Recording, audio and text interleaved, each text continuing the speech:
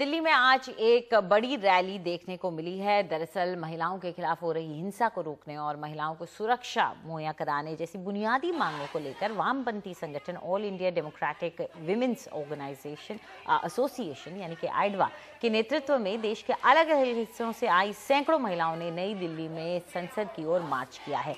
महिलाओं के खिलाफ बढ़ती हिंसा, दहशत, बेरोजगारी और भूख से आज़ादी की मांग को लेकर मंगलवार को महिला संगठनों ने मंडी हाउस से लेकर जंतर मंतर तक मार्च किया। भारी बारिश भी। इन महिलाओं का हौसला नहीं तोड़ पाई। लगातार हो रही बारिश के बावजूद भी महिलाओं ने मार्च स्थगित नहीं किया। इस मार्च में सामाजिक कार्यकर्ता, वकील और नेता भी शामिल रहे। हम फ़िलहाल जंतर मंतर पर हैं, जहाँ पर एक रैली चल रही है।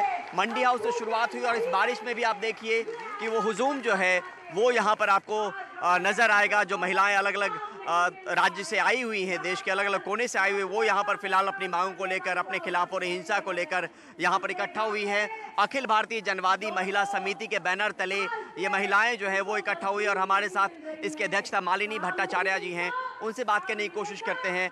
मैम क्या क्या मांगे हैं और आ, कितने राज्यों से महिलाएँ हैं देखो इधर तो हमारे तेईस राज्यों में एडवा का यूनिट्स है।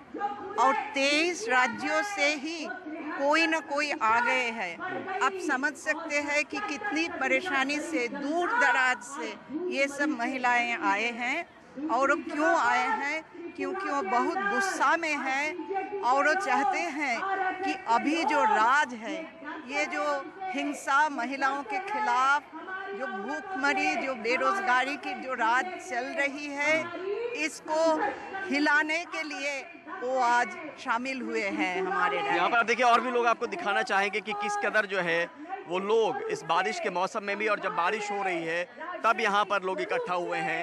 एक अच्छी खासी तादाद और सिर्फ़ आवाज़ पहुँचाने की कोशिश यहाँ पर आ, हो रही है। और इसी के मकसद से लोग बारिश में भीग ज़रूर रहे हैं। लेकिन उसके बावजूद आप देखिए कि किस कदर लोग यहाँ का जन सैलाब जो है वो यहाँ पर फ़िलहाल उमड़ा है। यहाँ पर वृंदा जी भी हैं जो स्टेज पर हैं। सब बारिश में भीग रहे हैं, लेकिन अपनी मांगों को लेकर आप देखिए कि हर कोई बस आवाज़ बुलंद करने की कोशिश कर रहा है। और यहाँ पर लोग जो है वो हौसला अफजाई का दौर भी जो है, वो यहाँ पर फ़िलहाल चल रहा होगा। बस दो शब्द मैम आपसे, दो शब्द।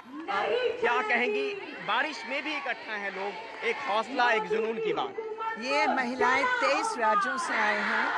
और मुख्य सवाल यह है कि मोदी सरकार का जो जुल्म है गरीब औरतों के ऊपर, उसके खिलाफ ये यहाँ इकट्ठे हुए हैं।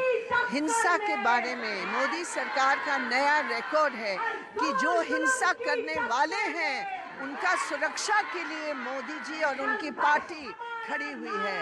और इसलिए आज हमारे बीच दीपिका रजावत भी है, जो कथुआ केस की वकील है, जहाँ उनके ऊपर, जो वकील है, उनके ऊपर भी हमला हुआ है, क्योंकि वो एक बच्ची के लिए खड़ी हुई है। तो मोदी सरकार के हमेशा हर क्षेत्र में जो हमारी गलत नीतियाँ औरतों के ऊपर लगा रहे हैं, इसके खिलाफ आज। यहाँ पर आप देखिए कि जोश जो है वो देखते बनता है और यहाँ पर आप देखिए कि लोग जो है, वो किस कदर यहाँ पर अपनी आवाज़ जो है वो बुलंद कर रहे हैं। सीधे तौर पर आवाज़ पहुँचाने की कोशिश है, एक मांग की बात है और यही बड़ी वजह है कि महिलाएँ देश के अलग अलग कोने से यहाँ पर इकट्ठा हुई हैं। नई दिल्ली से परिमल कुमार, एनडीटीवी इंडिया।